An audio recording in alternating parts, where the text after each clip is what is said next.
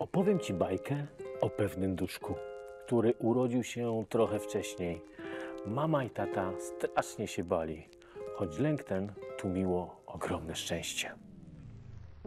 Pewnego razu w jesienny wieczór, gdy duszek ów leżał jeszcze w brzuszku, mama przestała czuć jego ruchy. Rzekła do brzuszka: Gdzie jesteś, duszku?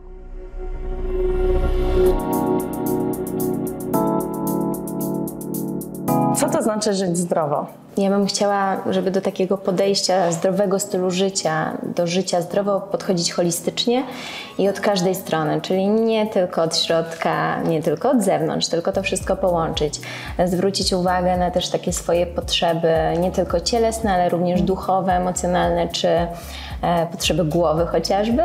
Więc e, Myślę, że schemat działania dla każdego człowieka będzie inny, żeby zachować swoje zdrowie i żeby żyć zdrowo.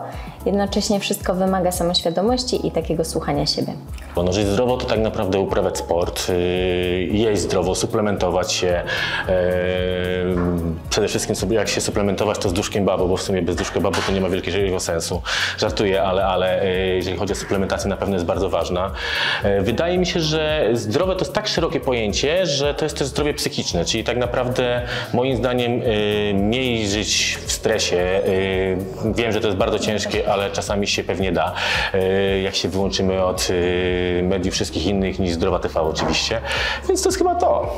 Żyć zdrowo to kilka rzeczy, które są dzisiaj dla mnie ważne. Przede wszystkim sen i to, że dzisiaj wielu przedsiębiorców dużo pracuje, żeby znaleźć czas dla siebie, żeby się dobrze wyspać, bo jak jesteśmy wypoczęci, to inaczej funkcjonujemy. I zdrowe jedzenie, żeby szukać gdziekolwiek możemy. Dawniej babcie robiły przetwory, szukajmy tego dobrego jedzenia, jedzmy zdrowo i, i ruch, który też jest dzisiaj ważny. Myślę, że przede wszystkim dobrze się odżywiać, dobrze się wysypiać. I no, ten trening przede wszystkim, bo obojętnie jakiego rodzaju trening, to jest bardzo sprzyja. Wydaje mi się, że to zadbanie o siebie, zarówno o sferę fizyczną, jak i psychiczną, czyli e, zdrowe jedzenie, aktywność fizyczna, ale także zastanowienie się nad tym, co nas trapi, w czym jesteśmy dobrzy, e, rozmowa z bliskimi, rozmowa z osobami, które e, znają się e, na tematy zdrowia psychicznego, czyli ogólnie zadbanie o siebie. Jak słyszę życie zdrowo, to oczywiście pierwsze na myśli śnie mi się fizyczne, zdrowie typowo fizyczne, czyli zdrowe odżywianie przede wszystkim, no i to, żeby dbać o, e, o fizyczne zdrowie, czyli jakąś tam aktywność i tak dalej, ale nie możemy zapominać o zdrowiu psychicznym. Dlatego myślę, że trzeba przede wszystkim, jeśli chodzi o zdrowe życie, e, myśleć o zdrowiu psychicznym i o zdrowiu fizycznym. Żyć zdrowo znaczy dobrze się odżywiać, uprawiać sport, ale przede wszystkim pilnować swoich badań i przypominać innym o tym, żeby się badali. To może to jest właściwie wszystko. To jest e, e, co jemy, co robimy codziennie, o czym myślimy, jak działamy. To wszystko wchodzi w to bardzo bogate jedno słowo zdrowie. Uważam, że jest ono bardzo ważne i jest to podstawa e, zdrowego, jakby w zdrowym ciele zdrowy duch, więc dla mnie jest ono bardzo ważne e, i podstawa. Niepokój nastał. Zmartwił się tata. Wnet zabrał mamę do jednej z klinik. Tam pani doktor z panem doktorem rychło w czas ogłosili wynik. Musimy rodzić. To czas najwyższy. Choć to za wcześnie o trzy miesiące. Strach w oczach mamy, strach w oczach taty, gdy lekarz orzekł taką diagnozę. Babu, bo takie imię nosił nasz duszek, choć gramów wówczas niewiele ważył, tak bardzo chciał już opuścić brzuszek, że wcześniej wyjście z niego odważył. Moment ten nastał. Przyszła ta chwila. Strach nie opuszczał rodziców dzielnych. Choć dla nich był to istny survival, a dzień ten był dniem z tych niecodziennych. W pierwszych dniach życia żył w szklanej bańce. Później wychodził jeść z piersi mamie. Dla taty jest też miejsce w tej bajce, gdy przyjdzie czas na kangurowanie.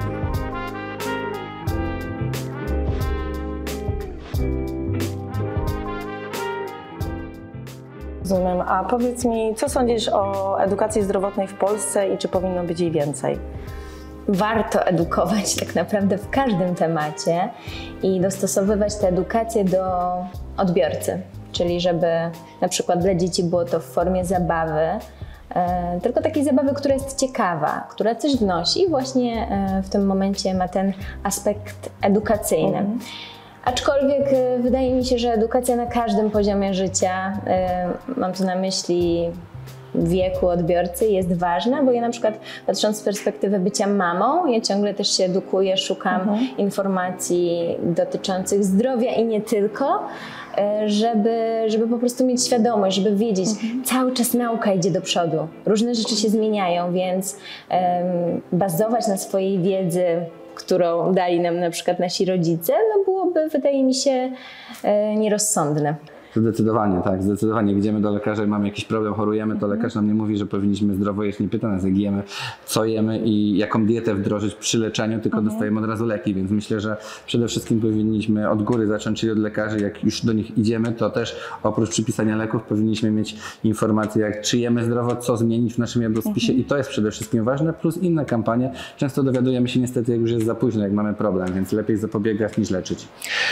Edukacji zdrowotnej zawsze powinno być więcej. I ile by nie było, to zawsze powiem, że powinno być więcej, bo to nawet przysłowie mówi, że zdrowie jest najważniejsze, tak? I tutaj bez wątpienia. W ogóle wydaje mi się, że zdrowie jest, y, jeżeli chodzi o edukację tą szkolną, stricte, tak? Która się przede wszystkim edukacja ze, szko- ze szkołą kojarzy, to w ogóle jej nie ma. Y, Nie, nie, nie ma moim zdaniem mm, nacisku na to, żeby młodzież, u, nawet nacisku, słowo nacisk jest źle, bo może nacisk jest, a nie ma motywacji do tego, żeby młodzież y, brała udział w, w zajęciach WF-u, żeby y, powiedzmy nawet y, kuchnia, stołówka y, szkolna działała właśnie w sposób zdrowy, czyli przekonywać dzieciaków do tego, że fajne są warzywa, że fajne są owoce, tak? Tu pewnie zawsze łatwiej, ale oczywiście też mięso, ale gdzieś tam konkretnie wyselekcjonowane. I wydaje mi się, tej edukacji jest za mało. To na pewno się wiąże z finansami, z budżetem, natomiast mimo wszystko uważam, że zawsze jest za mało.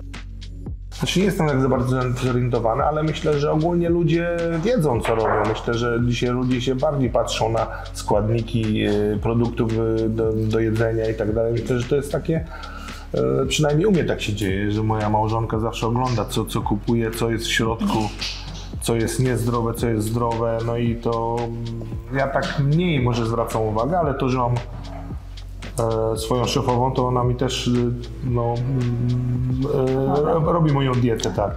Uważam, że powinno być jej więcej. Rzeczywiście u mnie w domu tego nie brakowało. Moi rodzice e, zwracali uwagę na to, co jemy, e, kiedy jemy, e, czy uprawiamy aktywność, ile siedzimy przed komputerem. Natomiast nie przypominam sobie, żebyśmy w szkole mieli jakiekolwiek zajęcia związane z, ze zdrowiem psychicznym, związane właśnie z tym, co powinniśmy jeść, e, czy, czy, czy jakie składniki powinniśmy jeść. Dlatego uważam, że no, to powinno być e, wzmocnione w Polsce. Na pewno powinno być jej więcej. Y, Chcę wierzyć, że jest jej coraz więcej, że rząd i nasza władza myśli o tym. No i że gdzieś tam y, patrząc na to, co się teraz dzieje, przede wszystkim po tym, co zrobiła pandemia, po, po tym jak ludzie byli zamknięci, przede wszystkim młodzież była zamknięta w domach, mam nadzieję, że nasza władza pomyśli o tym, żeby właśnie wprowadzać jak najwięcej takich zajęć do, do szkół. Ja czuję też taką odpowiedzialność e, przypominania ludziom o tym i e, no nie mam droższej waluty niż e, drugi człowiek, także jest to szalenie ważne.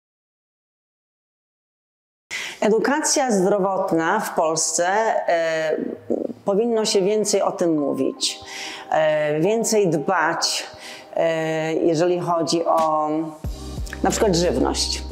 Myślę, że z każdego roku e, na rok powinna być ona poszerzona i powinniśmy, jakby dzieci powinny być uświadamiane w tym, e, jak jest ważna i jak ważne jest zdrowie. Mamy je jedno, więc wydaje mi się, że jest najważniejsze. Choć jeszcze sam nie potrafi oddychać i chociaż trochę jest mniej odporny, lekarz przebada jeszcze jelita, by babu był wyjść do domu zdolny. A gdy już babo wrócił do domu, suplementacja była istotna. Dla mamy witamina C była ważna, D witamina dla noworodka. Stymulowanie ruchów i ciała to bardzo ważny etap wcześniaczka. Dla babu wszak nie ma większej frajdy, niżeli rehabilitacja. Wzmacnianie brzuszka, nóg i tułowia, badanie oczek, badanie słuchu, ćwiczenia rączek oraz paluszków. Wszakże to ważne dla tych maluchów. Prace plastyczne, wspólne zabawy to dzieciom sprawia wiele radości.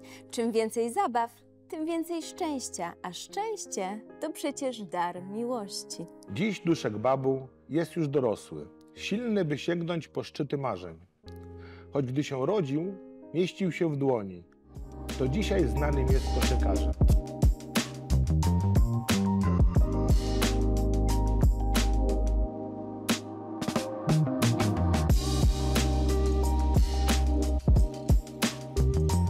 Czy pomaganie jest trendy według Ciebie? Na pewno potrzeby dzisiejszego świata pokazują, że trzeba pomagać. I wydaje mi się, że w każdym z nas, zwłaszcza w tym roku, obudziło się coś takiego, że taka potrzeba pomocy innym w związku z zaistniałą sytuacją. Jednocześnie ja bym zawsze chciała apelować, żeby każdy pomagał tam, gdzie ta pomoc jest potrzebna i tak, żeby zachować swoje zdrowie w tym wszystkim, bo y, nie możemy pomagać kosztem siebie. Najpierw trzeba zadbać o siebie, a potem możemy dać więcej innym ludziom. Czy pomaganie jest trendy? Pomaganie jest trendy, jeżeli chodzi w moim przypadku y, Fundacji Pomaganie jest trendy. To jest troszeczkę nazwa przewrotna, y, bo przede wszystkim y, wydaje mi się pom- pomagać trzeba, natomiast to słowo trendy dlatego powstało, żeby, żeby po prostu te trendy wykreować. Tak, myślę, że to jest, to, to, to znaczy trendy. To jest, myślę, że każdy powinien być, ten co pomaga, to się za dużo nie odzywa moim zdaniem, się tym nie chwali. To jest, to trzeba mieć w sercu, tak? To jest ten co pomaga, to siedzi cicho i pomaga i ma to dla siebie, że cieszy. Ja mi, dla mnie należy wielką, wielką satysfakcję, że pomagam, ale to dla siebie to robię. Żeby mi było po prostu, żeby mi było lepiej. Ja jestem takim trochę nie egoistą, ale ego- egocentrykiem. Robię dla kogoś coś, bo mi jest wtedy dobrze. Uważam, że jest trendy. To jest naprawdę piękna rzecz, e, gdy, gdy pomagamy. E, Zauważam też, że e, ludzie jakby nie boją się pokazywać, że pomagają, a to, to jest ważne, bo oczywiście to, że pomagamy cicho, to, że pomagamy w domu jest e, czymś pięknym, czymś, co warto doceniać, ale także y, warto zwracać uwagę na to, że pomagamy, bo wtedy ludzie, którzy być może żyją w takiej bańce w otoczeniu i uważają, że nic na świecie złego się nie dzieje, mogą zauważyć, że jednak są osoby, które potrzebują pomocy, są osoby, które często nie mają co do garnka włożyć e, albo nie mają czym ogrzać e, domu e, i też czasami nie wiedzą w jaki sposób mogą pomóc, no bo mają pieniądze, mają chęć, ale nie wiedzą do kogo się zwrócić, do jakiej fundacji, czy, czy gdzie są problemy w naszym społeczeństwie, więc uważam, że to jest piękne, że pomaganie jest trendy i oby zawsze było tak. Bardzo jest trendy. Mam nadzieję, że będzie coraz więcej. Cieszę się, że jest taka fundacja e, i że wspieracie małe dzieci. Myślę, że im więcej możemy pomóc, tym bardziej mamy wpływ na świat i na zmianę świata, bo ci ludzie dzięki nam też mogą funkcjonować, rozwijać się i tworzyć lepsze jutro. Także bardzo ważne. To również mam nadzieję, że jest coraz bardziej trendy, no i mi się wydaje, że, że to jest gdzieś tam w modzie i że każdy e, czuje się lepiej też e, ze sobą, pomagając. Absolutnie, absolutnie jesteśmy dla siebie ważni i nie ma nic droższego niż rodzina, niż bliscy, także musimy sobie przypominać, bo e, wcześniejsze badania potrafią uratować życie. Pomaganie jest bardzo ważne i to jest bardzo ciekawe, bo na przykład dzisiaj, w tym dniu, kiedy filmujesz e, tę piękną bajkę, jest święto dziękczynienia w Stanach. I, I to jest piękna tradycja, bo dziękuję się bez powodu, bezinteresownie.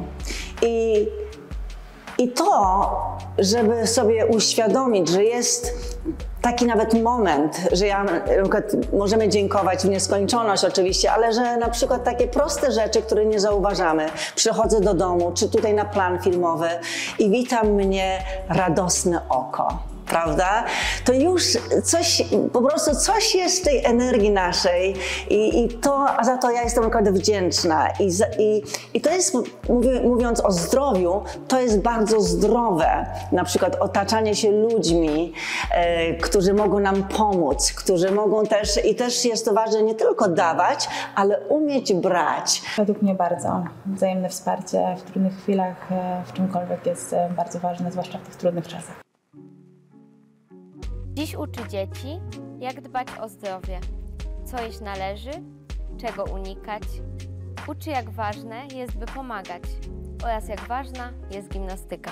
Gdyby świat nie miał przeszkód, a los byłby łaskawy, gdzie by podziały się wszystkie nadzieje? Chociaż człowiek potrafi być czasem plugawy, miłość wygrywa, jak głoszą dzieje. Morał tej bajki jest oczywisty. O szczęście czasem zawalczyć trzeba. Każdy z nas rodzi się przecież po coś, a siła życia płynie wprost z nieba.